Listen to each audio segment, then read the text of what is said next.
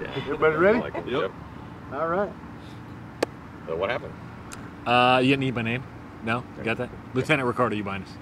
Um, at about 3:45 this morning, uh, the police received a 911 call from the desk clerk at the hotel, the Red Roof Inn Hotel behind me. Uh, apparently, some people had run into the office, indicating that somebody had been shot on the property. Uh, police arrived here to find one victim with multiple gunshot wounds. Um, there was no suspect uh, at the scene. Uh, there is a currently a suspect that we're looking for. There's a very vague description. The detectives are currently trying to, to solidify that description a little bit more.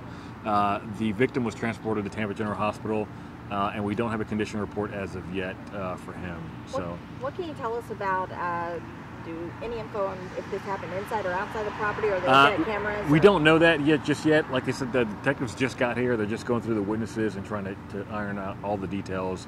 Uh, but there is at least one witness that did see a suspect fleeing the scene on foot. So Describe the scene. I mean, were there people outside? Were they, you know, I think there were a few people outside, um, and the victim was uh, was um, was being tended to by, by fire rescue shortly after the officers arrived. But when the officers arrived here, there were several witnesses and other uh, uh, customers uh, on scene. was this the result of an argument or? We don't know that yet. Okay, was Yeah. there any kind of transaction going on? We don't know that yet either.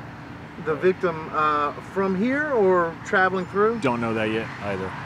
cameras. What can you tell us about uh, any cameras on the property, inside or outside? Are We do believe that there might be some video footage uh, of, uh, of, of, the, of the property, so they're going to look at the cameras as well.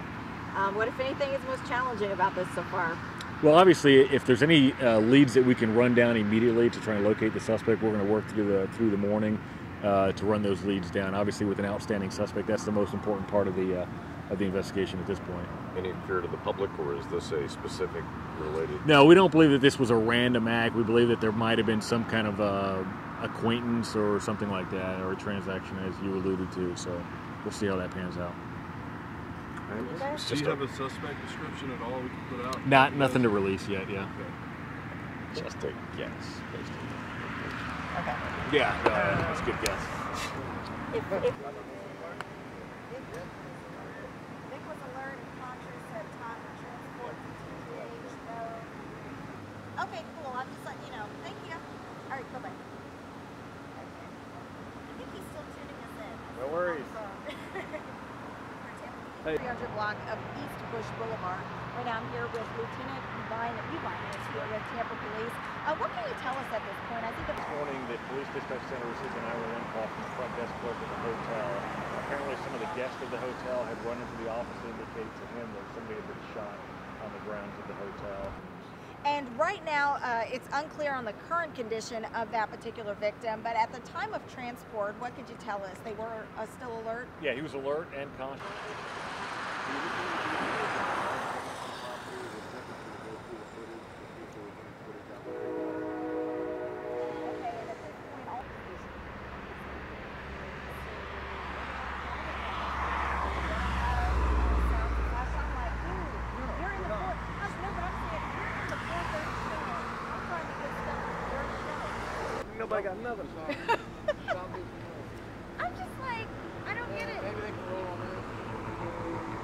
I'm going to tell